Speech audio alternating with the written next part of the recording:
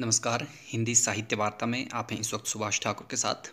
दोस्तों, जून 2020 net GRF की परीक्षा का परिणाम आ चुका है और बहुत सारे विद्यार्थियों ने नेट जीआरएफ क्लियर कर लिया है और बहुत से स्टूडेंट्स ऐसे भी हैं जो नेट जीआरएफ से चूक गए हैं। तो ऐसे में सबसे पहले जिन लोगों ने नेट या जीआरएफ की परीक्षा उत्तीर्ण कर ली है उन्हें हिंदी साहित्य वार्ता परिवार की तरफ़ से बहुत बहुत बधाई, शुभकामनाएँ और उनके फ्यूचर के लिए कि वो जहाँ भी जाएँ, अच्छे से हमेशा शीर्ष पर ही रहें। और जो लोग नेट या जीआरएफ से कुछ अंकों से चूक गए हैं या जिनका किसी कारणवश इस बात नहीं हो पाया है, उन्हें भी बेस्ट विशेज़ एंड मैं ये कहना चाहूँगा कि उन्हें भी हताश और निराश होने की बिल्कुल भी ज़रूरत नहीं है, क्योंकि कहते हैं कि गिरते हैं शाही सवार ही जंगे मैदान में, वो तिफल क्या खाक गिरेंगे जो घुटनों के बल चला करते हैं। सो दोस्तों, कभी भी हताश और निराश नहीं होना चाहिए, क्योंकि गिरता वही है जो चलता है है ना? जो दौड़ेगा वही गिरेगा, जो दौड़ेगा ही नहीं, वो कभी गिर भी नहीं सकता। तो हमेशा मोटिवेट रहें। फ्यूचर जो है वो हमारा है है ना? जिनका होना था वो हो गया। इन फ्यूचर किसका होगा? हम, हमारा ही होगा। ये सोच हमारे मन में होनी चाहिए। मन से इंसान को कभी भी नहीं टूटना चाहिए। कहते हैं कि कोई भी योद्धा, हज़ार बार युद्ध हार जाए, लेकिन उसके मन से अगर वो अपनी हार को स्वीकार कर लेता है तो उसकी हार निश्चित होती है। अदरवाइज़ वो उसके बाद भी जीत सकता है। इसलिए हर एक सफल व्यक्ति के पीछे उसकी असफलता की कहानियाँ ज़रूर होती हैं। ठीक है ना? तो इसलिए बिल्कुल भी हताश और निराश हमें नहीं होना है। ये चीज़ बहुत ही महत्वपूर्ण है। तो आज हम जो बात कर रहे हैं, देखिए कि जे आर एफ़ टू के लिए अब हमने तैयार कैसे होना है, वो चीज़ है। तो सबसे बड़ी बात उसके लिए मैं पहले भी आपको कह रहा हूँ कि हमें बिल्कुल मोटिवेट होके रहना है हमेशा, ठीक है? फ्यूचर हमारा है, मैं हमेशा ये कहता हूँ। और एक चीज़ देखिए, हिंदी साहित्य वार्ता चैनल में आपने देखी होगी, यहाँ पर आपने ये लाइन फोकस करना कि हमेशा आपको ये लाइन लिखी हुई मिलेगी if you can dream it you can do it अगर आप नेट जी का सपना देख रहे हैं तो या देख सकते हैं तब आप उस सपने को साकार भी कर सकते हैं और वो आप हो भी सकते हैं। आपको अगर लगता है कि आप जे कर सकते हैं तो डेफिनेटली आप कर सकते हैं। तो इसीलिए मेरे कहने का मतलब ये था कि मन से कभी भी नहीं टूटना है। मन से अगर आप टूट गए तो समझो आपने अपनी आधी लड़ाई वहीं पर हार ली। इस बार नहीं हुआ, कोई बात नहीं।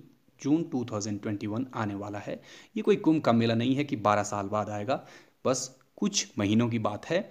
उसके बाद तुरंत अभी से हम क्या कर देंगे? पूरी की पूरी अपनी प्रेपरेशन शुरू कर देंगे। ठीक है ना? अब बात ये आती है कि जे या नेट ही क्यों करना है? दोस्तों, आप लोग देखते हैं बहुत सारे जो हमारे आजकल ऐसे विद्यार्थी हैं जो नेट और जे की तरफ़ बढ़ रहे हैं। वो क्यों बढ़ रहे हैं? क्योंकि एक चीज़ है, अब अगर आपने यूनिवर्सिटी या कॉलेज में टीचर बनना है तो आपको सबसे महत्वपूर्ण चीज़ क्या है कि आपके पास नेट होना बहुत ज़रूरी है। और अब हर एक बच्चा जागरूक है या फिर ये ट्रेंड बन गया है कि आपको यूजीसी की परीक्षा क्लियर करनी ही है। अब आप देखेंगे, पहले इस तरीके से इतना रुझान नेट जे की तरफ़ बच्चों का नहीं था, लेकिन अब एमए में या ग्रेजुएशन के दौरान ही बच्चा क्या कर देता है? यूजीसी की प्रेपरेशन करना शुरू कर देते हैं। तो इसलिए हमारी ज़िम्मेदारी और भी ज़्यादा बन जाती है कि अब जो है बच्चे ज़्यादा आ रहे हैं और सिक्स परसेंट ही लिया जाता है नेट जी के लिए। तो ऐसे में बहुत मुश्किल और डिफ़िकल्ट टास्क है ये। लेकिन फिर भी हमने छः महीने में इसको कैसे पूरा करना है? ये संपूर्ण जो भी रणनीति है कि किस तरीके से हम इस एग्ज़ाम को क्रैक कर सकते हैं ये सब चीज़ें हम आज डिस्कस करने वाले हैं।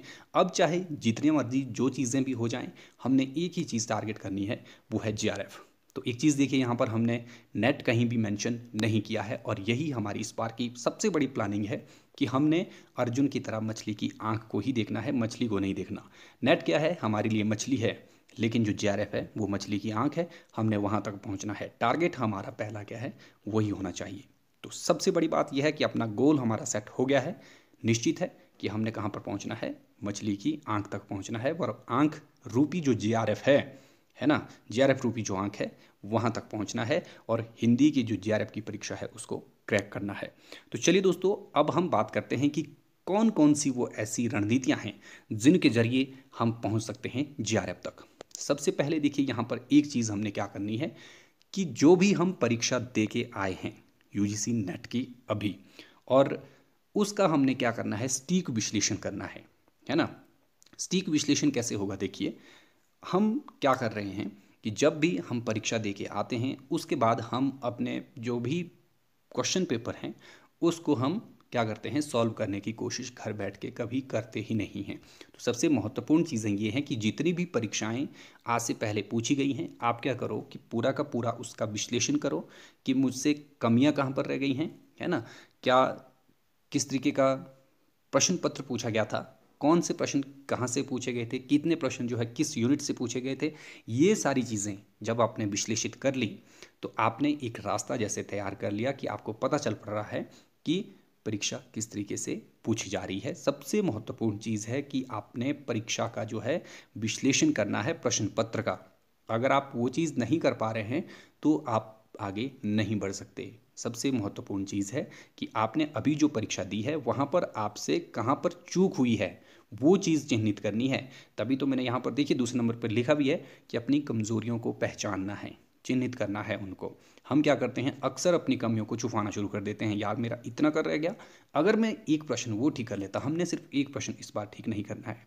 हमने पूरे के पूरे सौ में से कोशिश ये करनी है कि नाइन्टी प्रश्न जो है हिंदी में लाने हैं और ये कोई बड़ी बात नहीं है, ये हम कर सकते हैं।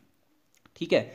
तो अपने वीक पॉइंट को हमेशा ही ढूँढने की कोशिश करनी है। जितने भी हमारे पेपर अभी तक हुए हैं हमने कहाँ कहाँ गलती की है, आप देखेंगे बहुत सारे कॉमन से क्वेश्चंस ऐसे होंगे जो हमने गलत किए होंगे। अब दूसरी चीज़ ये है कि आपने फैक्चुअल क्वेश्चन गलत किए हैं या आपने कॉन्सेप्चुअल क्वेश्चन गलत किए हैं, वो भी हमें देखना पड़ेगा, है ना? कि ऐसे क्वेश्चन जो टू द पॉइंट पूछे गए थे, हमने वो भी गलत कर दिए। ये चीज़ हमने निश्चित कर ली तो मतलब क्या है, हमारा वो कमज़ोर पक्ष है। हमें उसमें सुधार करने की ज़रूरत है। दूसरा है कि आपका मज़बूत पक्ष कौन सा है, वो भी देखना है कि किन यूनिट से या कौन से ऐसे प्रश्न हैं जो आप जल्दी कर रहे हैं या उनको अच्छे तरीके से आप समझ रहे हैं परीक्षा में बैठने से पहले और परीक्षा में उनको आप अच्छे तरीके से करके भी आ रहे हैं।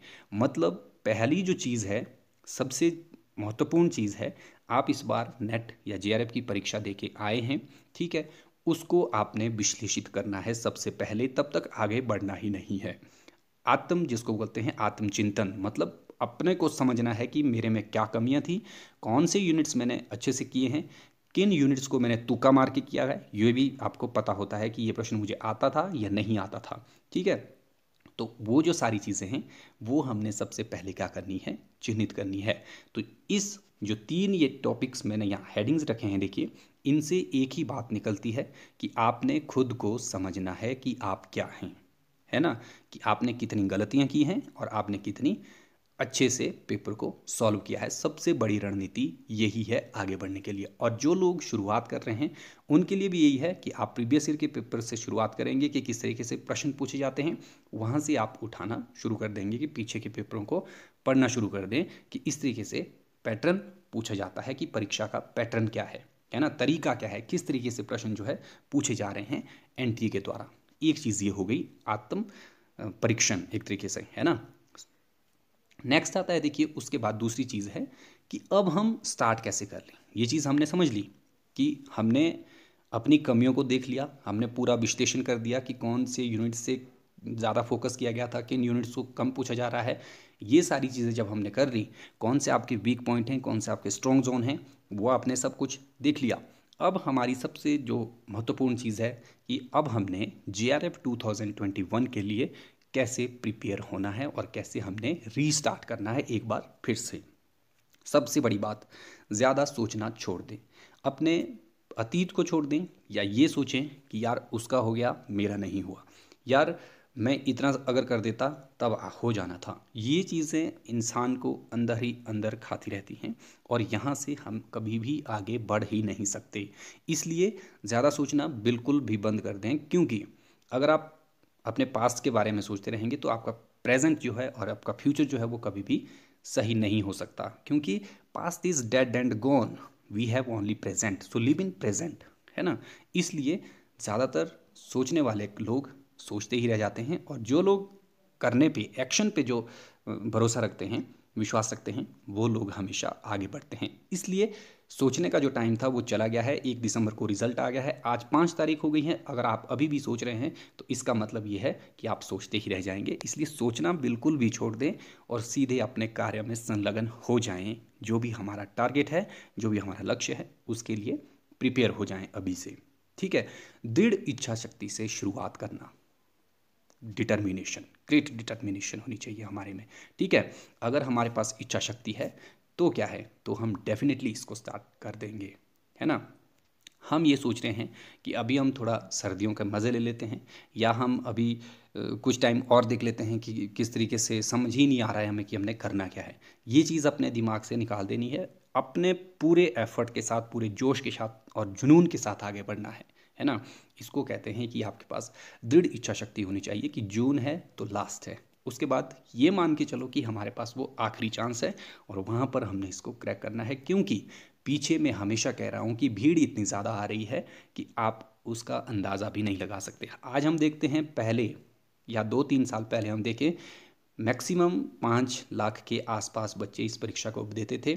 आज हम देखते हैं कि आठ, नौ, दस इतने लाख बच्चे जो है नेट की परीक्षा दे रहे हैं। तो बहुत ज़्यादा कंपटीशन होने वाला है। इसलिए जीआरएफ आखिरी 2021 में ही करना है।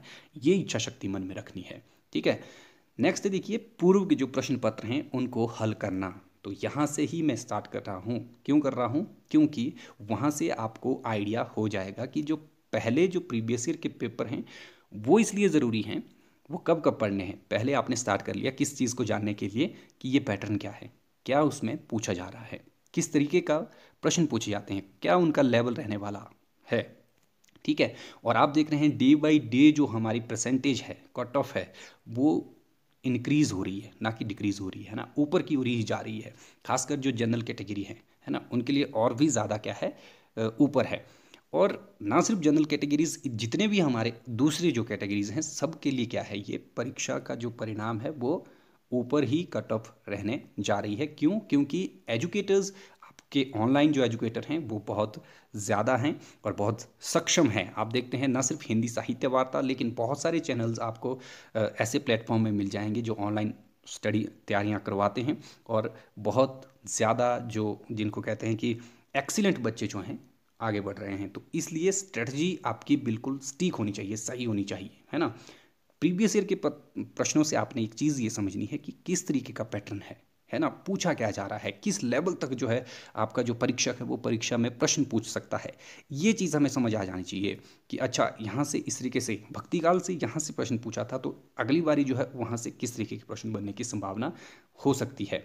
ये चीज़ हमें पता करनी है, ठीक है? और दूसरी चीज़ प्रश्न पत्रों को बिल्कुल इस तरीके से नहीं पढ़ना है कि आपने सिर्फ़ वही प्रश्न देखने हैं, वहाँ से आपने एक आइडिया लेना है, ठीक है? और रिपीट होने की संभावना बहुत कम है कि आप ये मान के चलेंगे कि पिछली बार ये आया था, यही इस बार आ जाएगा, नहीं। वहाँ से प्रश्न से प्रश्न बनने की संभावना रहती है, ये एक चीज़ है। दूसरी ये चीज़ है कि वहाँ से आपको पता चल रहा है कि तरीका क्या है। ये दो चीज़ें बहुत महत्वपूर्ण हैं कि प्रश्न से प्रश्न बनेगा और उससे हमें तरीका पता चलेगा। तो ये चीज़ें हो गई तैयार करने के लिए आपको कि हमने सोचना छोड़ दिया।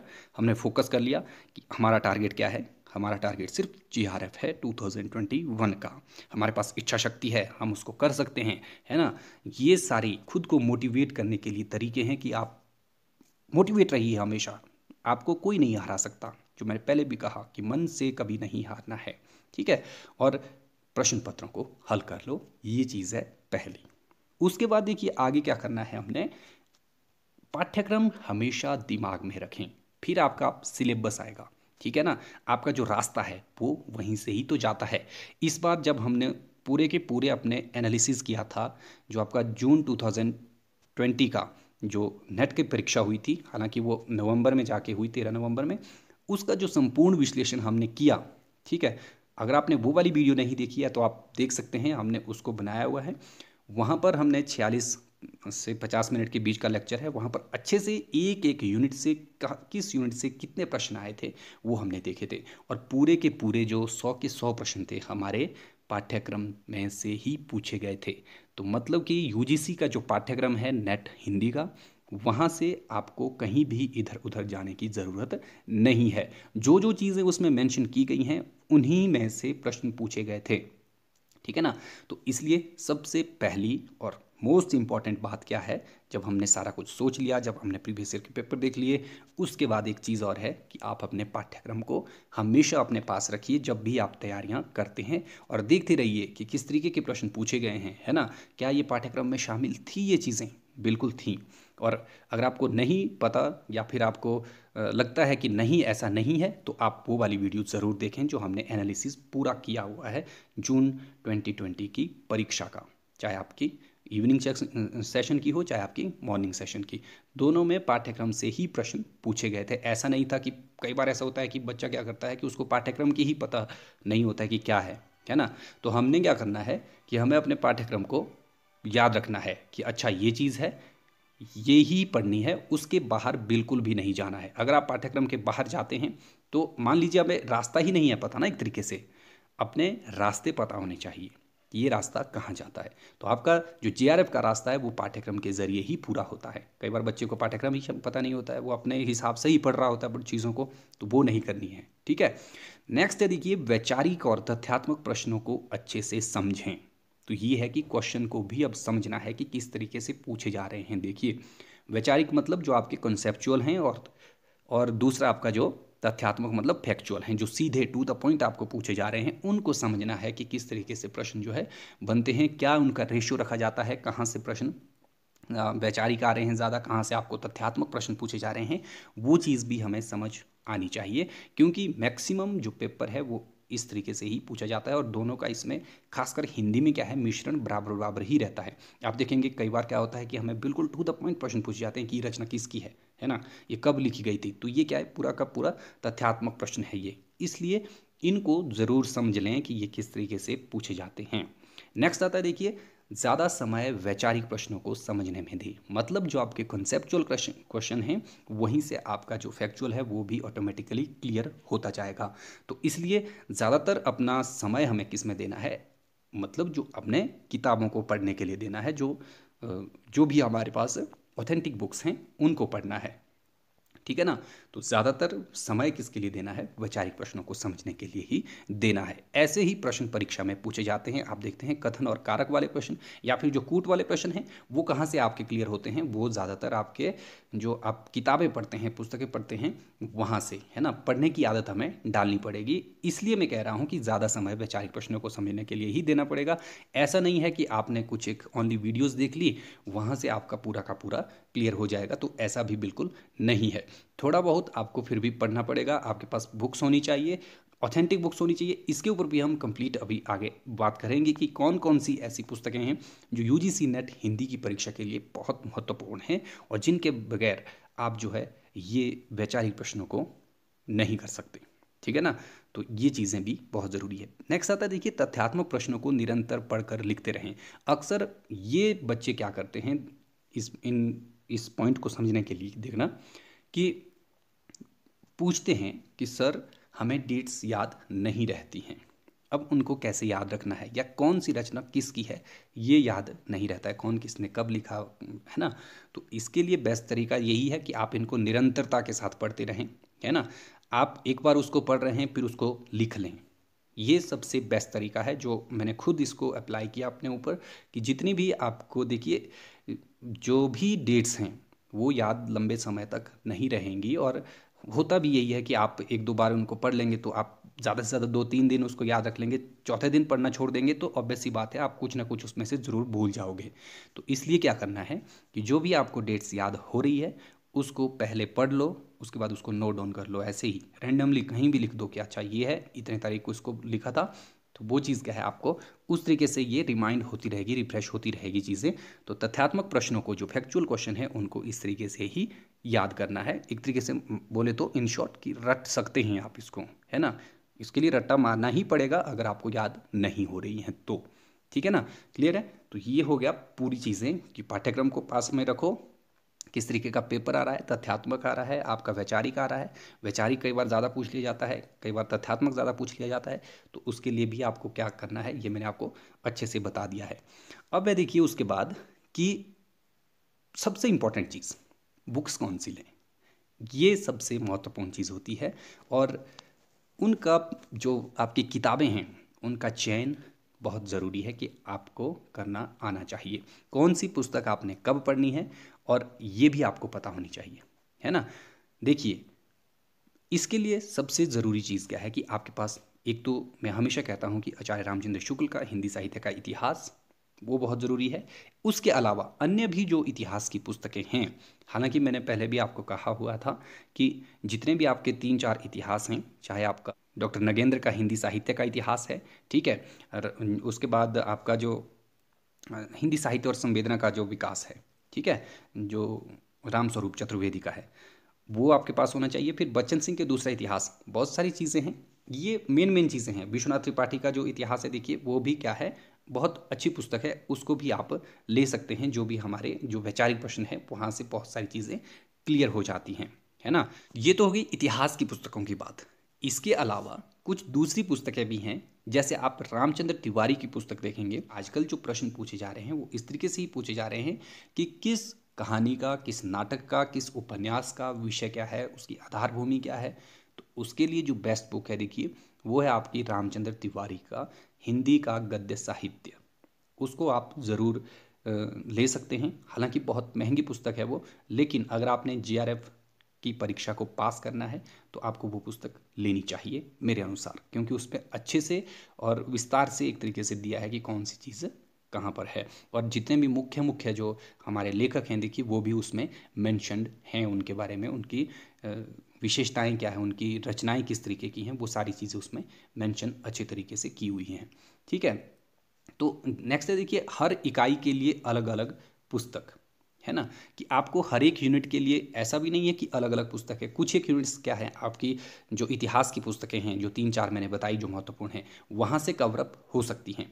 ये विस्तार से मैं आगे इसके लिए एक लेक्चर आपके लिए लेके आऊँगा कि कौन कौन सी चीज़ें हैं किन किन बुक्स के ज़रिए हम किन किन यूनिट्स को अच्छे से तैयार कर सकते हैं, ठीक है? और आपकी जो भी कहानियाँ, नाटक, उपन्यास हैं, उनके आपके पास टेक्स्ट होना बहुत ज़रूरी है। ठीक है? आपको उनके बारे में थोड़ी सी जानकारी होना ज़रूरी है। क्यों? क्योंकि उसके बिना भी नहीं हो सकता। कई बार कहानी और उपन्यासों से आपने देखा कि बहुत बारीक सी चीज़ें पूछ ली जाती हैं तो इसलिए उसकी या तो पीडीएफ रखो अपने पास, या आपके पास कहीं भी कोई दूसरी चीज़ें हैं, या उसकी बुक्स ही आप खरीद सकते हैं तो वो भी मच बेटर है। तो ये कुछ एक महत्वपूर्ण चीज़ें हैं। अब प्रश्न ये आता है कि कौन सी पुस्तक आपने कब और कैसे पढ़नी है?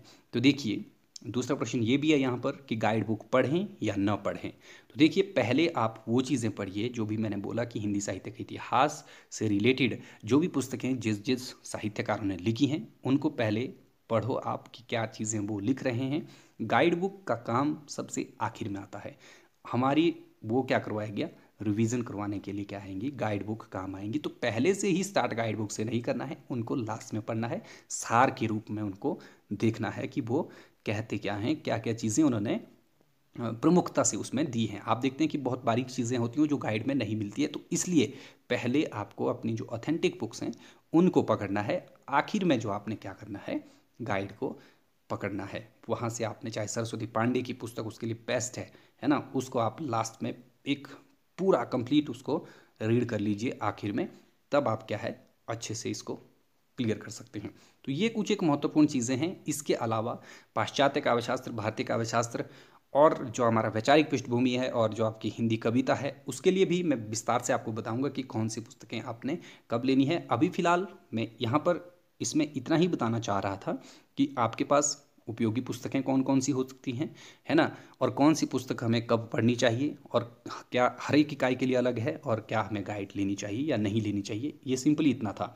नेक्स्ट हम जब भी आपके लिए वीडियो लेकर आएँगे तो वहाँ पर हम ये बात ज़रूर करेंगे कि हमने किन किन पुस्तकों से जानकारी हासिल करनी है यू जी को क्रैक करने के लिए।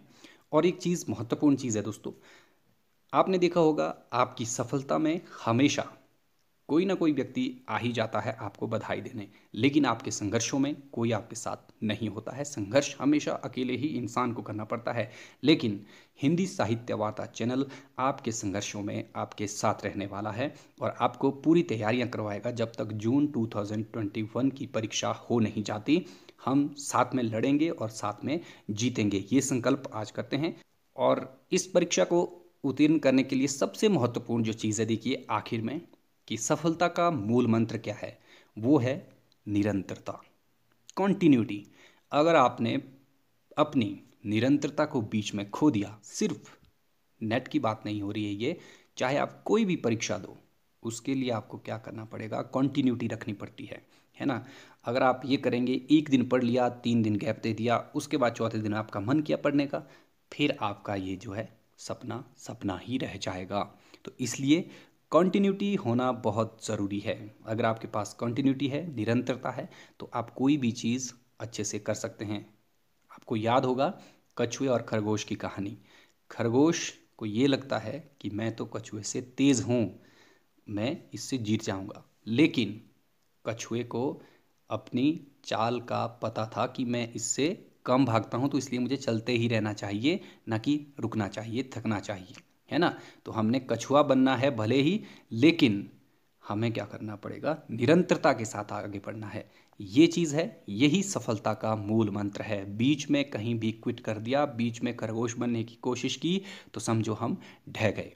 तो इसलिए हमेशा बढ़ते रहिए, चलते रहिए, थकना मना है। और एक और बात लास्ट में, कि जब तक तोड़ेंगे नहीं, तब तक छोड़ेंगे नहीं। शुक्रिया, जय हिंद।